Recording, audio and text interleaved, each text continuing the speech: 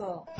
ីអង្សហរដ្ឋអាមេរិក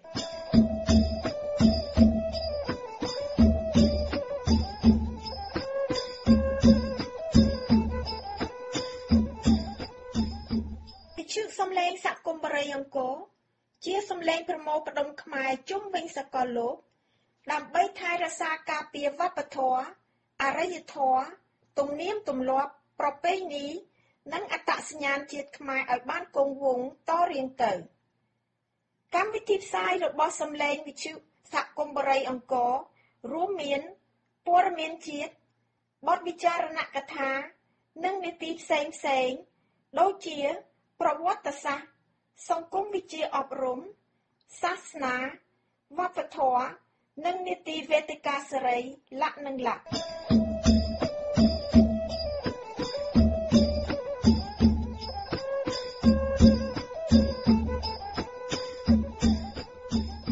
ខ្ញុំកណាខ្ញុំបាទអោកសឿមសូមនមស្ការចំពោះព្រះថេរានុថេរៈគ្រប់ព្រះអង្គជាទីសក្ការៈសូមជម្រាបសួរលោកអ្នកនាងនិងមិត្តជាអ្នកស្ដាប់វិទ្យុសំឡេងសហគមន៍រែងខូជាទីគោរពរាប់អានពោលទាំងឡាយ4ប្រការគឺអាយុវណ្ណៈសុខៈពលៈសូមមានដល់ព្រះគុណម្ចាស់គ្រប់ព្រះអង្គនិងលោកអ្នកនាងឲ្យបានសពខាលសពវេលាតរៀងទៅកុំបីឃ្លៀងឃ្លាតឡើយ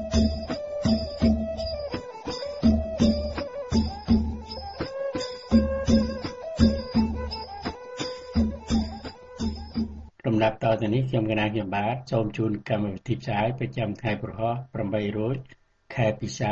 ឆ្នាំរកានពស័កពុទ្ធសករាជ2561ត្រូវនៅថ្ងៃទី18ខែឧសភាគ្រិស្តសករាជ2017កម្មវិធីថ្ងៃនេះរួមមានពិធីកិច្ចនមស្ការសំសិលព័ត៌មានជាតិព័ត៌មានអន្តរជាតិសេចក្តីរាយការណ៍អំពីសកម្មភាពនៅបរិយាអង្គរ និងសេចក្តីជូនដំណឹងផ្សេងផ្សេងបាទលំដាប់តទៅទៀតនេះសូមលោកអ្នកទទួលព័ត៌មានរឿងជាតិនិងអន្តរជាតិរាយការណ៍ដោយអ្នកនាងមានសម្បត្តិពីទីក្រុងភ្នំពេញចា៎នាងខ្ញុំសូមអរគុណនៅពេលនេះនាងខ្ញុំសូមជូនព័ត៌មានសំខាន់សំខាន់ប្រចាំថ្ងៃជាមុនសិនសេដ្ឋកិច្ចកម្ពុជាបន្តរឹងមាំទោះបីជាមានសញ្ញាយឺតយ៉ាវលើវិស័យសំណង់ គណៈកម្មាធិការជាតិរៀបចំការបោះឆ្នោតបានស្នើសុំឲ្យអ្នកព័ត៌មានកុំចាក់សាំងលើភ្លើង គឺត្រូវធ្វើជាឡើងទឹកពន្លត់ភ្លើងវិញ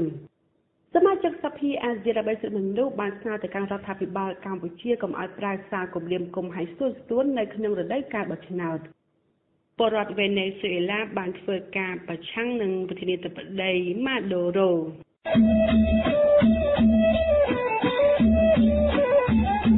នាងខ្ញុំសូមជូនព័ត៌មានពុស្ដាសេដ្ឋកិច្ចកម្ពុជាបន្តរឹងមាំទោះបីជាមានសញ្ញាយឺតយ៉ាវលើវិស័យសំណង់យោងតាមរបាយការណ៍ពីធនាគារពិភពលោកប្រចាំកម្ពុជាកាលពីថ្ងៃម្សិលមិញបង្ហាញថាវិស័យសំណង់និងវិស័យការងារជាកម្លាំងរុញច្រានឲ្យកម្លាំងសេដ្ឋកិច្ចកម្ពុជានៅតែមានភាពរឹងមាំជាមួយអត្រាកំណើន6កដកសញ្ញា9%នៅឆ្នាំ2017និងឆ្នាំ2018 តែយ៉ាងណាក៏ដោយធនាគារពិភពលោកបានដាក់សញ្ញានៃភាពយឺតយ៉ាវលើវិស័យមួយចំនួនពិសេសវិស័យសំណង់គណៈដែលវិស័យការងារកំពុងប្រឈមមុខនឹងការប្រកួតប្រជែងរបស់បណ្ដាប្រទេសក្នុងតំបន់ដែលមានប្រាក់ឈ្នួលទាបដោយនេះទើបធ្វើឲ្យវិស័យកាដេមមានកំណើនត្រឹមតែ8កដកសញ្ញា4%ប៉ុណ្ណោះនៅឆ្នាំ2016បើធៀបនឹងកំណើន12កដកសញ្ញា3%នៅក្នុងឆ្នាំ2015 អ្នកគ្រប់គ្រងធនាគារពិភពលោកប្រចាំកម្ពុជាអ្នកស្រី Indoga Do Praja លើកឡើងថាដើម្បីរក្សាកំណើនដ៏រឹងមាំនេះប្រទេសកម្ពុជាត្រូវវិនិយោគលើវិស័យហេដ្ឋារចនាសម្ព័ន្ធសាធារណៈក្នុងទិសដៅជំរុញកំណើនសេដ្ឋកិច្ចក្នុងគណៈដែលប្រទេសមួយនេះកំពុងតែបដោតទៅលើការកសាងជំនាញសម្រាប់កំណើនសេដ្ឋកិច្ចនាពេលអនាគត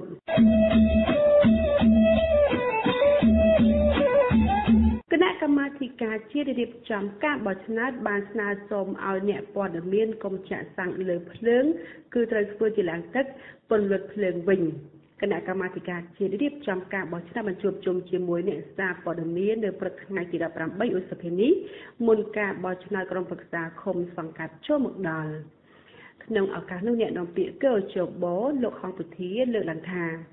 បញ្ជីឈ្មោះបោះឆ្នោតថ្មីត្រឹមត្រូវ98% និងស្នើសុំឲ្យអ្នកសារព័ត៌មានកុំយកសាំងជះលើភ្លើង គឺត្រូវធ្វើឡើងទឹកពលរដ្ឋអគ្គិសនី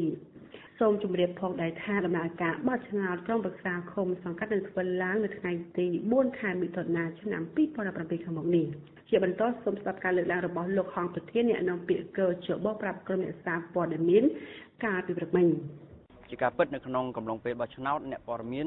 គឺជាអ្នកដែល អឺគឺជាប្រជាពលរដ្ឋម្នាក់ដូច្នេះគាត់មានសិទ្ធិក្នុងការបោះឆ្នោតមួយសន្លឹកណានៅក្នុងបន្ទប់សម្ងាត់ណាប៉ុន្តែក្នុងការបំពេញតួនាទីមិនត្រូវបង្ហាញខ្លួនថាជាអ្នកដែលមានភាពលំអៀងឬគ្រប់គ្រងឬកាន់ជើងដល់គណៈបកនយោបាយណាមួយនោះទេអញ្ចឹងអ្វីដែលខ្ញុំបានលើកឡើង គឺសម្ដៅ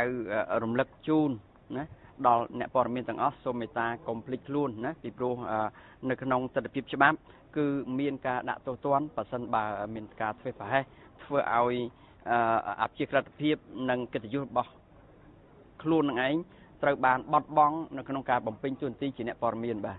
អឺពី5លានទៅ20លាននោះគឺជាអ្វីដែលបានចែងនៅក្នុងច្បាប់ជ្រើសតាំងតំណាងរាស្ត្របាទបាទអឺជាការពិតកោចបមានការប្រឹងប្រែងហើយណាយើងបានប្រើប្រាស់នៅបណ្ដាញព័ត៌មានតាមរយៈអាជ្ញាធរក៏មានណាតាមរយៈ លទ្ធភាពដែលបានធ្វើដោយខ្លួនឯងដូចជាការផលិតជា sport ជាជាម៉ូតូដាក់មីក្រូបាទជាការផ្សព្វផ្សាយនៅតាមឃុំសង្កាត់ហើយមាន poster មាន flyer មានការផ្សព្វផ្សាយផ្សេងទៀតហើយការផ្សព្វផ្សាយតាមរយៈអង្គប្រជុំឬក៏ការផ្សព្វផ្សាយពីមាត់មួយទៅមាត់មួយគឺសុទ្ធតែមានសារៈសំខាន់ណាប៉ុន្តែយ៉ាងណាក៏ដោយ គ្មានការបោះឆ្នោតណាដែលល្អឥតខ្ចោះទេណាគ្មានគ្មានការងារណាដែលតែធ្វើទៅ100%ទេអញ្ចឹង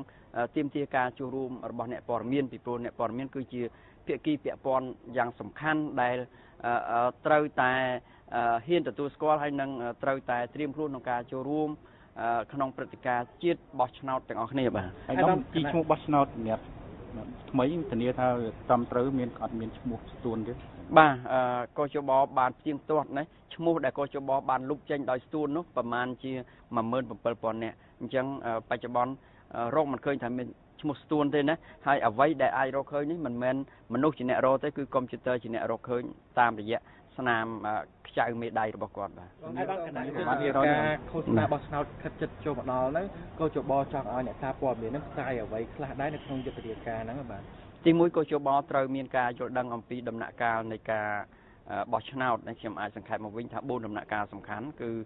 ដំណាក់កាលចុះឈ្មោះអ្នកបោះឆ្នោតដំណាក់កាលទី2គឺចុះឈ្មោះបេក្ខជននិងគណៈបកនយោបាយដែលត្រូវប្រកួតប្រជែង បញ្ហាទី3គឺដំណាក់កាលនៃការឃោសនាបោះឆ្នោត ហើយដំណាក់កាលទី4គឺថ្ងៃបោះឆ្នោតនិងរាប់ស្លឹកឆ្នោតឥឡូវនេះដំណាក់កាលទី2ដំណាក់កាល2បានឆ្លងផុតហើយអញ្ចឹងដំណាក់កាលដែលកោជបចង់ឲ្យមានការផ្សព្វផ្សាយនោះគឺព័ត៌មានស្ដីអំពីការ ឃោសនាបោះឆ្នោតបាទហើយដំសំចាក់អ្នកដែលបោះឆ្នោតលើសពីម្ដងអាចមានទោសហើយតែមួយទៅបើซึ่งមានការផ្សាយព័ត៌មានថាទឹកខ្មៅនៅតែអាចលុបច្រាស់ដែរអាចនឹងមានប្រន្ទាទោសដល់ស្ថាប័នឬអង្គការដែលបានផ្សព្វផ្សាយព័ត៌មានហ្នឹងបាទអឺម្សិលវិញយើងបានសាក់លបងហើយហើយទោះបីជាមានការភ័ន្តច្រឡំតិចតួចប៉ុន្តែលទ្ធផលបានបញ្ជាក់ច្បាស់ថាទឹកខ្មៅនោះมันអាចលុបជ្រះទេអញ្ចឹងទឹកខ្មៅនេះគឺជាចំណែកមួយសំខាន់គឺជាផតាងដែលបញ្ជាក់ថាมันមានអ្នក បោះឆ្នោតលើសពីម្ដងអាចទៅរួចទេបាទបងតាក់ទងបញ្ហាតញ្ញានបានជាង30ម៉ឺនសន្លឹកដែលខាងគណៈបព្វឆាំងឲ្យកោចបអន្តរាគមទៅធនាគារដែលពលរដ្ឋយកទៅដាក់នោះយើងបានសរសេរលិខិតទៅហើយណាបងកោចបនៅពុំទាន់បានអឺធ្វើបញ្ហានឹងនៅឡើយទេណាវាជាភាពលំបាកមួយដោយសារអឺរឿងនេះវាអាច ឆ្ងាយពីដៃកោជបបន្តិចត្រង់ថាវាពាក់ព័ន្ធដល់ផលប្រយោជន៍របស់ប្រជាពលរដ្ឋនៃភាគីម្ខាងទៀតដែរណាបើយើងគិតម្ខាងហើយយើងធ្វើឲ្យប៉ះពាល់ដល់ម្ខាងទៀតអាហ្នឹងអាចអាចកោជបហ្នឹងមិនអនុវត្តទូនទីរបស់ខ្លួនបានទេណាប៉ុន្តែយ៉ាងណាក៏ដោយសំណើទាំងឡាយកោជបនឹងទទួលយកហើយធ្វើការជាមួយគ្នា ខ្ញុំសូមជម្រាបថាក្នុងឱកាសដែលខ្ញុំមកនេះគឺកោជបកំពុងតែពិភាក្សានិងមានការសម្រេចចិត្តរឿងសំខាន់សំខាន់មួយចំនួននៅឯទីទីស្តីការរបស់យើងបាទសំណួរចុងក្រោយមួយទៀតតកតងបញ្ហាជនបរទេសបាទតើកោជបកថានឹងមិនមានជនបរទេសកាន់តែញាតិបានខ្មែរទៅចុះឈ្មោះបោះឆ្នោតទៅបោះឆ្នោតទេសម្រាប់បញ្ហានេះពាក្យថាជនបរទេសគឺមិនមែនខ្មែរហើយណាបាទបើមិនមែនខ្មែរគាត់មិនអាចបោះឆ្នោតបានទេណាប៉ុន្តែអ្វីដែលសួរហ្នឹងគឺប្រហែលជាចង់សួរថា អ្នកដែលកាន់អត្តសញ្ញាណបានសញ្ជាតិខ្មែរណាសម្រាប់កោជបមិនមែនជាស្ថាប័នជំនាញទៅលើការងារអត្តសញ្ញាណបានទេអញ្ចឹងប្រសិនបើគោរពបានលក្ខខណ្ឌពីរសំខាន់ណាទី1គឺមានឈ្មោះក្នុងបញ្ជីរួចហើយបាទទី2មានអត្តសញ្ញាណបានសញ្ជាតិខ្មែរណាបាទទោះបីចំោះស្រួចចំោះទៀលអាហ្នឹងគឺនៅតែបោះឆ្នោតបានណាយើងមើលតារាភាពយន្តអាមេរិកកាំង Angelina ណាទោះបីជាគាត់ មើលទៅត្រង់ទ្រីគាត់គាត់ថាមិនមែនខ្មែរណាប៉ុន្តែនៅពេលដែលគាត់បានចូលជាតិខ្មែរគាត់អាចបោះឆ្នោតបានហើយបាទអរគុណអាដាមអធនីថាគោលចំពោះអធនីថាការបោះឆ្នោតដោយសេរីយុត្តិធម៌ដែរក្នុងគោលការណ៍ច្បាប់ត្រូវតែធានាថាសេរីត្រឹមត្រូវនិងយុត្តិធម៌ណាប៉ុន្តែអ្វីដែលយើងត្រូវតែធ្វើឲ្យបានក្នុងកម្រិតខ្ពស់នោះគឺការទទួលយកបានដោយគ្រប់ភាគីពាក់ព័ន្ធណាបាទពីព្រោះកន្លងមកលទ្ធផលនៃការបោះឆ្នោតប្រកាសចេញទៅ ភាគីពាក់ព័ន្ធខ្លះសប្បាយចិត្តមិនសប្បាយចិត្តណាសម្រាប់ខ្ញុំដែលមានបទពិសោធន៍ជាអ្នកស្រាវការអន្តរជាតិនៅបណ្ដាប្រទេសមួយចំនួនទាំងប្រទេសមានការអភិវឌ្ឍនិងប្រទេសកំពុងតែមានការអភិវឌ្ឍណាគណៈបកដែលមិនមិនទទួលបានសម្លេងឆ្នោតច្រើនឬក៏និយាយឲ្យខ្លីថាគណៈបកចាញ់ណាតែងតែមានបញ្ហាបាទតែងតែមានបញ្ហាកើតឡើងបាទអញ្ចឹងអឺប៉ះសិនបើកោជបអ៊ូតអាងខ្លួនឯងថាធ្វើឲ្យមានភាពសេរីត្រឹមត្រូវយុត្តិធម៌នោះផ្លូវច្បាប់គឺតម្រូវឲ្យធ្វើណា ប៉ុន្តែអ្វីដែលយើងនឹងទទួលបាន គឺថាឲ្យសុខចិត្តសុខកាយទាំងអស់គ្នាអ្នកឈ្នះឈ្នះដោយយុត្តិធម៌ហើយអ្នកចាញ់ចាញ់ដោយអស់ចិត្តបាទអាដាមការឃោសនានៅអាទិត្យក្រោយមានសារពុកមានដល់គណៈបញ្ញោបាយបាទបាទអឺយើងបានអញ្ជើញគណៈបញ្ញោបាយជួបជុំគ្នាហើយអឺស្អីក៏យើងអញ្ជើញពួកគាត់មកដែរដើម្បីឲ្យធ្វើការផ្សព្វផ្សាយបន្តណាហើយខ្ញុំសូមជម្រាបថានៅ ការរាប់ស្លឹកឆ្នោតហើយភ្លាមកោជបនឹងចាប់ដើមប្រកាសទី1មានការផ្សព្វផ្សាយនៅលទ្ធផលនៃការបោះឆ្នោតតាមការិយាល័យនៅក្នុង website របស់កោជបណាហើយនឹងមានប្រកាសតាមទូទស្សន៍បាទមិនទុកឲ្យមានការយឺតយ៉ាវដោយ លើកមុនទៀតទេណាហើយប្រហែលថ្ងៃនេះក៏ជបនឹងគ្រប់អញ្ជើញគណៈបច្ចុប្បន្នទាំង12ដើម្បីមកចាប់ឆ្នោតយកពណ៌របស់គាត់ណាពីព្រោះក៏ជបត្រូវរៀបចំជា graphic graphic នឹងឯងគឺគណៈបកណាបានសម្លេងច្រើនក្នុងឃុំណាមួយ graphic ឯងវាត្រូវលោតខ្ពស់ណាអញ្ចឹងលោតខ្ពស់លោតទៀតទៅតាមសម្លេងណាប៉ុន្តែក៏ច្បោះគិតរហូតដល់ថាគណៈបកខ្លះលោកប្រកាន់ដែរលោកអត់ចូលចិត្តពណ៌ហ្នឹងទេ អញ្ចឹងកុំឲ្យមានការយល់ខុសគ្នាយ៉ាងម៉េចគឺអញ្ជើញគណៈបកនោះមកពិគ្រោះពិភាក្សាគ្នាដើម្បីចែកពណ៌គ្នាឬមួយក៏ចាប់ឆ្នោតយកបាទអាដាមប្រជាពលរដ្ឋអាដាមមើលជាបងមានយន្តការណាផ្សព្វផ្សាយឲ្យពលករដែលនៅក្រៅប្រទេសមកចូលរួមបោះឆ្នោតបានចាស់ទេអាដាមអឺនៅតាមស្ថានទូតសុទ្ធតែមានទទួលបានព័ត៌មានពីកោជបដើម្បីជម្រាបចែកជូនដល់អ្នកនៅក្រៅប្រទេសប៉ុន្តែ សូមកត់សម្គាល់ថាគឺអ្នកដែលមានឈ្មោះនៅក្នុងបញ្ជីទេដែលអាចបោះឆ្នោតបានអ្នកមិនមានអឺកុំឲ្យមានអ្នកអឺបំផុសបំផុលឬក៏ចិត្តតែអញ្ជើញគាត់មកបង្កើតជាបញ្ហាមួយផ្សេងទៀតបាទអញ្ចឹងនៅក្រៅលើក្រៅក្រៅអាចមានផែនការបោះឆ្នោតតាមស្ថានទូតស្ថានណាទូតនៅក្រៅប្រទេសទេដល់មើលមានតម្រងក៏ជបជាស្ថាប័នអនុវត្តតាមច្បាប់បើសិនជាសភាសម្រេចថាឲ្យរៀបចំ ការិយាល័យចុះឈ្មោះនឹងបោះឆ្នោតនៅតាមស្ថានទូតនឹងក៏ច្បងនឹងធ្វើឲ្យបាទបាទប្រសិនបើអ្នកថាព័ត៌មានផ្សព្វផ្សាយព័ត៌មានពីកោចបប្រចាក់ការពិតនឹងតើវាមានបញ្ហាប្រឈមមិនខ្លះដែរតាមពិតអឺ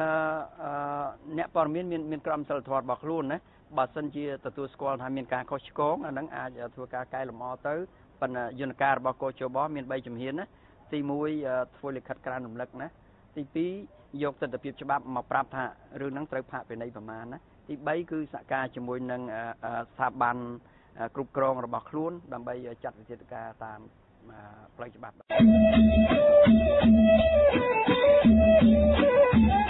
សមាជិកសភាអាស៊ានដើម្បីសិទ្ធិមនុស្សបានស្នើទៅកាន់រដ្ឋាភិបាលកម្ពុជាកុំឲ្យប្រើសារគំរាមកំហែងស្ទួនស្ទួននៅក្នុងរដូវកាលបោះឆ្នោត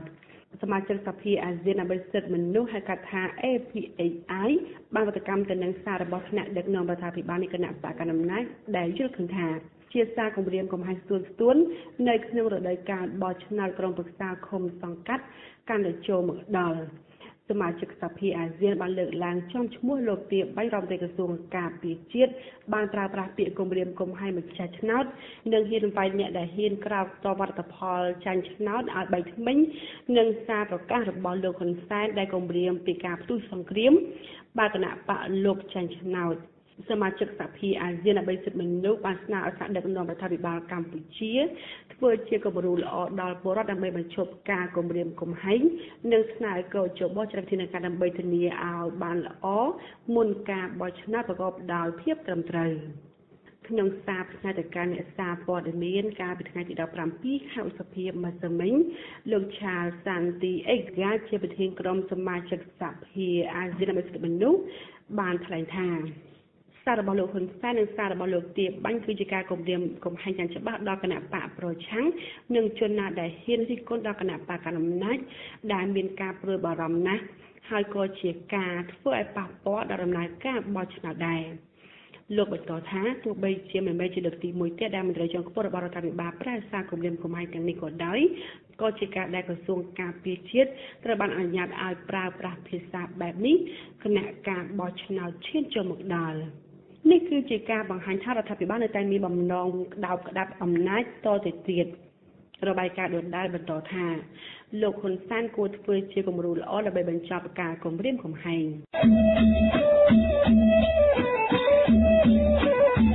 សូមងាកមកចាប់អារម្មណ៍ព័ត៌មានអន្តរជាតិវិញគណៈកម្មាធិការតុលាការព្រឹទ្ធសភាអាមេរិកបានស្នើឲ្យលោក James Comey ផ្ដល់សក្ខីកម្មជាសាធារណៈ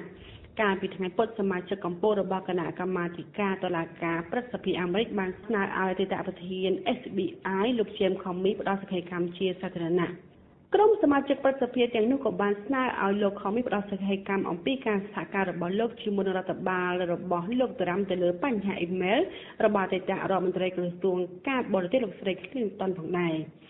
ចំពោះការបើកសកម្មភាពជាសាធារណៈនេះមិនទាន់អាចកំណត់ជាថ្ងៃណាមួយនៅឡើយទេ កាលពីព្រឹកថ្ងៃពុធដដែលគណៈកម្មាធិការតុលាការប្រសិទ្ធិក៏បានស្នើសុំឯកសារអាចសម្លេងសម្ងាត់ដែលជាប់ពាក់ព័ន្ធទៅនឹងការទំនាក់ទំនងរបស់លោកខំមីជាមួយលោកត្រាំដែលធ្លាប់ពិភាក្សាគ្នាកាលពីលោកត្រាំបានចូលកាន់តំណែងដំបូងនាយករដ្ឋមន្ត្រីជប៉ុនលោកស៊ីនស៊ូអាបេបានជួបប្រជុំជាមួយតំណាងប្រធានាធិបតីកូរ៉េខាងត្បូង នៅព្រឹកថ្ងៃប្រហ័ននេះនាយករដ្ឋមន្ត្រីជប៉ុនលោកស៊ីស៊ូអាបេបានអញ្ជើញជួបជុំជាមួយនឹងបេសកជនតំណាងប្រធានាធិបតីកូរ៉េខាងត្បូងលោកមូនជេអ៊ីននៅក្នុងទីក្រុងតូក្យូបេសកជនកូរ៉េខាងត្បូងលោកមូនហេសាំងបាននិយាយថាប្រធានាធិបតីកូរ៉េខាងត្បូងសង្ឃឹមក្នុងការបន្តចំណងមិត្តភាពឲ្យកាន់តែជិតស្និទ្ធជាមួយនឹងប្រទេសជប៉ុននិងសហការដើម្បីដោះស្រាយភាពតានតឹងនៅឧបទ្វីបកូរ៉េ គឺជាឱកាសមួយដើម្បីបង្ហាញឲ្យឃើញនៅជំហររបស់កូរ៉េខាងត្បូងទៅលើកិច្ចព្រមព្រៀងដល់ជំរងចម្រាស់មួយដែលបានធ្វើឡើងកាលពីឆ្នាំ2015ដែលមានបំណងបញ្ចប់ចំនួនរ៉ាំរ៉ៃជាមួយនឹងស្ត្រីកូរ៉េខាងត្បូង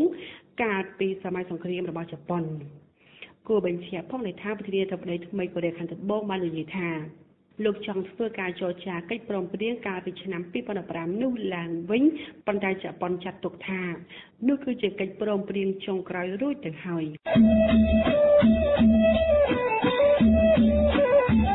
បរដ្ឋវេណេស៊ុយអេឡាបានធ្វើការប្រឆាំងនឹងប្រធានាធិបតីម៉ាដូរ៉ូ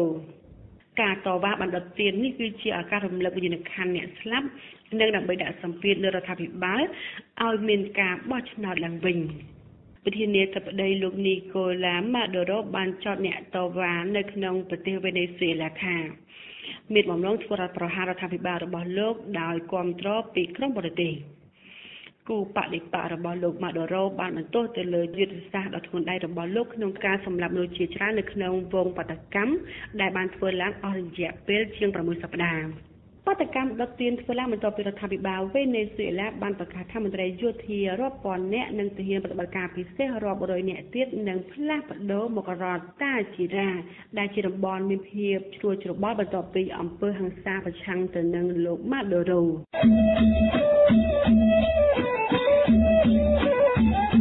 ចាស់សម្រាប់ព័ត៌មានជាតិព័ត៌មានអន្តរជាតិថ្ងៃនេះបានឈានចុះមកដល់ទីបញ្ចប់ហើយនាងខ្ញុំមានសម្បត្តិ សូមអរគុណសូមគោរពលា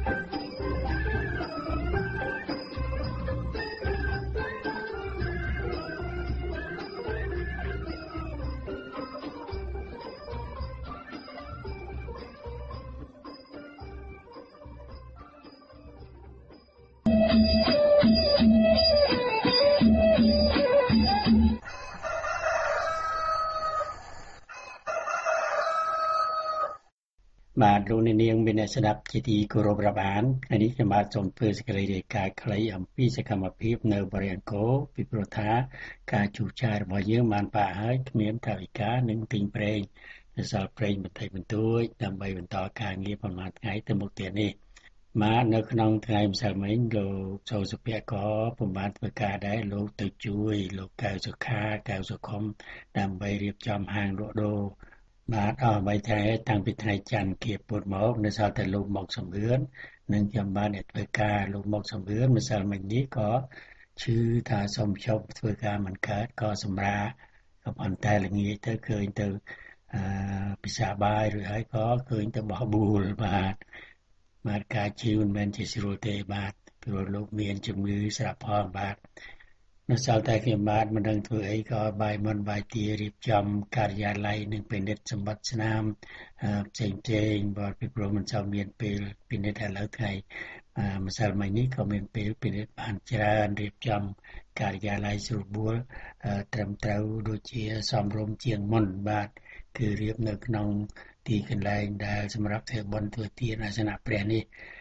ទុកកន្ទប់ខាងមុខខ្ញុំបាទនឹងជាកន្ទប់ទទួលភ្ញៀវ បាទជើងចំណេញព្រោះថាផ្ទះយើងនោះមានដល់ទៅអឺ1 2 3 4 5 6 7 8 9 10មានតែដល់10បន្ទប់ឯណោះបាទបើគិតតាមបារាំងគឺថា yes បាទ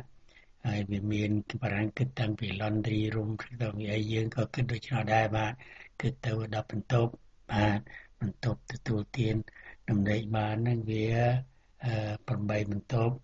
ហើយបន្ទប់ដែលនេះគឺផ្ទះបាយនិង laundry room ហើយនឹងបន្ទប់ទឹកប្រុសស្រីបាទយើងមានបន្ទប់ទទួលភ្ញៀវបរិបូរលោកសូសរ៉េតពីរដ្ឋ Maryland បានទូរស័ព្ទមកចំបាទថា នៅទីនោះមានកន្លែងសម្រាប់សម្រាប់ឲ្យស្រួលបួលទេគាត់គិតថាស្រែចំការដូចអត់មានអីទេបាទ បាទមានសពគ្រប់មានម៉ាស៊ីនក្តៅម៉ាស៊ីនត្រជាក់មានទឹកក្តៅទឹកត្រជាក់មានបន្ទប់អនាម័យប្រុសស្រីដូចតែនៅអូតែលយ៉ាងដែរបាទសូមអញ្ជើញមកសម្រាប់សម្រានឲ្យសបាយនេះសូមធានជ្រាបគ្រប់គ្រប់គ្នាអំពីបរិយអង្គររបស់យើងទីស្នាស្រ័យបាយទឹកអង្គឈើព្រៃអីមានទាំងអស់បាទសម្រាប់ទទួលលោកអ្នកមកស្នាក់អាស្រ័យម្ដងម្កាលបាទបើនៅយូរក៏បានប៉ុន្តែ ត្រូវទិញម្ហូបអាហារបន្ថែមមកទៀតបាទបាទបន្តពីនោះខ្ញុំបាទកាលពីម្សិលមិញក៏ទៅមើលទឹក កាលពីម្សិលមិញក៏ទៅមើលទឹកម្នាក់ឯងទៅពីថ្ងៃម្សិលមិញនេះឃើញត្រីរស់មួយគប់ភងបាទហើយឡកទឹកទៅថ្ងៃនេះទៅសងំមើលទៀតមិនឃើញបាទគឺមិនដែលមានត្រីធំគប់អញ្ចឹងទេនៅបលាយទឹករបស់យើងស្រាប់តែម្សិលមិញធំហ្មងបាទគប់ឲ្យឡកទឹក បាទចំណែកទឹកអូក៏ដូចជាអូខ្សោយណាស់ហើយបាទ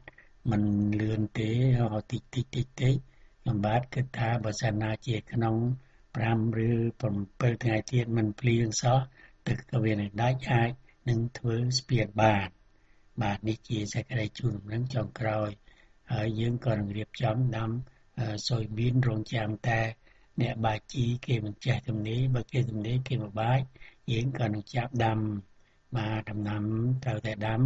ដើម្បីកុំឲ្យទុកដីទំនេរវាបានកម្រៃបន្តិចបន្តួចក៏វាគង់តែរួចខ្លួនសម្រាប់ជូនជួយបង់ពន្ធដីដែរបាទម្យ៉ាងទៀតខ្ញុំបាទក៏សូមថ្លែងអំណរគុណចំពោះអ្នកស្រីសម័យសេកពីក្រុងចាក់សិនវិលដែលបានផ្ញើស្អំចំនួន7 8ដើមមកដើម្បីបរិញ្ញកោដាំជាពូជក្រនឹងអាស្រ័យ បាទមិនដឹងថាអ្នកស្រីលក់ឬក៏ឲ្យឲ្យជាធ្វើជាអំណោយទេសូមមានប្រសាឡើងបាទដើម្បីកុំឲ្យថាការងាររបស់អ្នកស្រីដែលខំបណ្ដោះបណ្ដាលបានច្រើនយ៉ាងនេះហាក់ដូចជាមុខរបរហើយខ្ញុំបាទនឹងជូនសុយបាទតែបើថាធ្វើអំណោយខ្ញុំបាទក៏សូមថ្លែងអំណរគុណ ជាអតិបរមាចំពោះការយកចិត្តទុកដាក់របស់អ្នកស្រីដែលបានជឿមកជួយ ក្នុងបន្ទល់ឆ្នាំនេះផងក៏ទៅផ្ទះក៏បានផ្ញើនៅស្អំបាទសាច់ស្អំធំសុយស៊ីទៅគេមិនសពបាទអានឹងគឺវាអញ្ចឹងមែនបាទវាសុយប៉ុន្តែទទួលទានទៅវាដូចជាឆ្ងាញ់មួយយ៉ាងដែរបាទហើយគេថាជាថ្នាំផង បាទបើគិតសពគ្រប់ទៅអ្វីក៏ជាថ្នាំដែរបើមិនថ្នាំត្រួតត្រងរាងកាយយើងមិនបានទេ ចំណីអាហារនោះថាជីនេះវាជួយនេះជីជួយនោះវាជួយចឹងមែនបានយើងរស់រៀនមានជីវិតនោះបាទកុំឆ្ងល់បាទឲ្យតែទូទានទៅវាស្គខ្លួនក៏ពិសាទៅបាទមិនទាស់មិនខុសអ្វីទេ បាទនេះសូមអរគុណមួយយ៉ាងទៀត ខ្ញុំបាទក៏សូមថ្លែងអរគុណចំពោះអ្នកស្រីប៊ុនរួមជាភរិយារបស់លោកនួនសុកវាងពីក្រុង North Cross រដ្ឋចរចាក្បែរអាត្លង់តានឹងបាទលោកបានដេស្រោមអាសនៈព្រះ3ជាន់ខ្ញុំបាទយកមកយូរហើយតែមិនចេះបានលៀតក្រាលសោះសាទេលៀតក្រាលទៅល្អណាស់បាទល្អមែនតែនបាទហើយនេះក៏មិនដឹងថាអ្នកស្រីគិតគូរលុយកាក់ ប៉ុន្មានក៏សូមមេត្តាបើលឺហើយក៏សូមមេត្តាឲ្យដំណឹងខ្ញុំបាទផងពីព្រោះឬទៅវាគ្មានឃើញសម្បត្តិស្នាមអីសោះឬថាសូមថ្ងៃថ្លៃឬថាសូមថ្លៃក្រណាត់អីនោះក៏មេត្តាឲ្យដំណឹងមកខ្ញុំបាទនឹងលេលោកជូនបាទសូមផលអនិសង្ឃទាំងឡាយដែលលោកអ្នកស្រីបានជួយទីអាសនៈព្រះគឺអាសនៈឈើនឹង តុបតែងឡើងដោយលោកប៊ុនសំភាលោកប៊ុនសំភានៅច្រើនរដ្ឋណារដ្ឋនីសូតារដ្ឋ Massachusetts ប្រទេសខ្មែរនៅឯណាទៀតនឹងលោកដែលនៅទីនេះទីក្រុងតិចលោកធ្លាប់មកស្នាក់អាស្រ័យនៅបរិយាកោបានច្រើនខែដែរបានដូចជាចិត្តមករដូវដាំត្រប់ដាំស្អីផ្លែរួចហើយលោកក៏អឺសូមលាយើងខ្ញុំទៅត្រឡប់ទៅស្រុកវិញ ពីព្រោះអាការៈអឺរោគាមិនសូវស្រួលបាទសូមត្រេមអរគុណចំពោះលោកអ្នកទាំងឡាយដែលបានជួយឧបត្ថម្ភគ្រប់គ្រងនៅបរិយាកាសរបស់យើងឲ្យរីកចម្រើន សូមអរគុណសូមជម្រាបលាខ្ញុំបាទអោកសឿមប្រធានសហគមន៍បរិយាកាសរាយការណ៍ជូនស្ដាប់ពីទីក្រុង Rowland រដ្ឋ North Carolina សហរដ្ឋអាមេរិក